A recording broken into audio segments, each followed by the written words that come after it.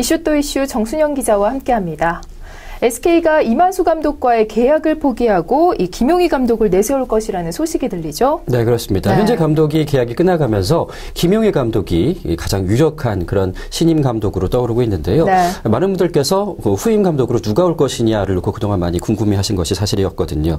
아, 과거 또 그 SK에서 경질된 바가 있었죠. 고양 원더스의 김성근 전 감독은 현재 한화 그리고 신임 감독으로 물망에 오르고 있다고 합니다. 2012년 SK와 3년 계약을 했던 이만수 감독 그렇게 그렇게 상황이 좋지가 않습니다. 2년 연속 이 포스트 시즌 진출에 실패한 바가 있었는데요.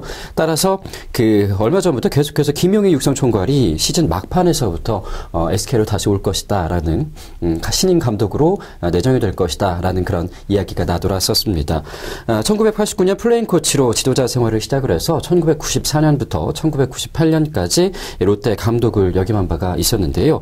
이 기, 2011년 9월 SK가 김성근 감독을 경질을 하고 이만수 감독 감독을 선임을 할 때 육성 총괄을 맡게 됐습니다. 네. 이제는 어, 신인 감독으로 물망에 오르고 있는 상황인데 한편 한화 김은용 감독 역시 2년 계약이 만료가 되고 있습니다. 역시 한화의 신인 감독으로 누가 올 것인가를 두고 말이 많은데 현재는 예, 내부 어, 내부 인사를 올릴 것이라는 그런 어, 그런 설이 가장 유력한 상황이기 때문에 어, 한용덕 단장 특별 보좌역을 가장 유력한 신인 감독으로 보고 있는 상황입니다. 하지만 외부 인사로는 김성근 전 고향 원더스 감독 역시 빼놓을 수가 없는데 김성근 감독이 역시 하나로 다시 돌아올 것인가를 놓고 많은 분들께서 궁금해하고 계십니다.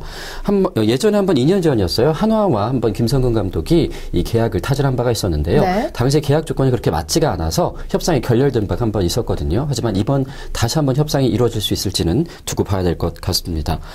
어, 하지만 지금 팬들 김성근 감독은 참 팬이 많거든요. 이 그 고향 원더스가 해체가 되면서 이 SK 그리고 한화 팬들이 서로 자기가 응원하는 그런 구단으로 와달라라는 그런 네. 응원의 목소리들이 여기저기서 들리고 있습니다. 그만큼 팬이 많기 때문이라는 생각이 드는데요.